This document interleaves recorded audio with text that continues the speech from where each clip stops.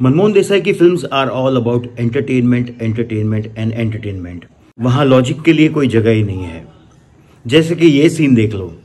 Brother Akbar Allahabadi how are you how are you क्या आप लोग एक दूसरे को जानते हैं? जानते हैं? अरे ब्रदर अकबर का जवानी से लेके बुढ़ापे तक फोर मैरिजेस करवाया हम। Four marriages naughty boy. तो इसमें अमिताभ कह रहे हैं कि बचपन से लेके अभी तक इसने चार शादी की है चार निकाह किए वो मैंने करवाई है। कहा अमिताभ बच्चन एक क्रिश्चियन और कहा ऋषि कपूर एक मुस्लिम?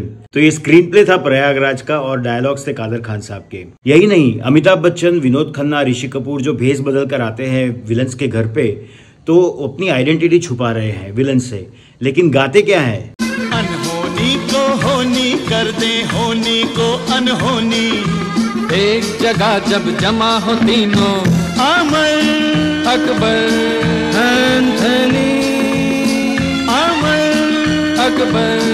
Anthony Amar Akbar Anthony में आपका कौन सा फेवरेट सीन है? कौन सा ऐसा बिना लॉजिक का फेवरेट सीन है? हमें कमेंट्स में बताइए।